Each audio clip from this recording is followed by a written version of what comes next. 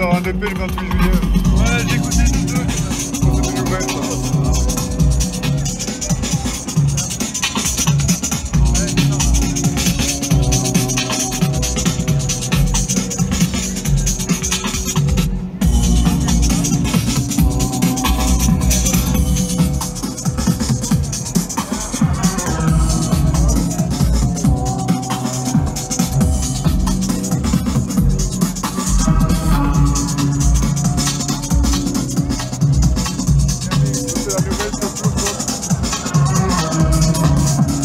Бендер, господин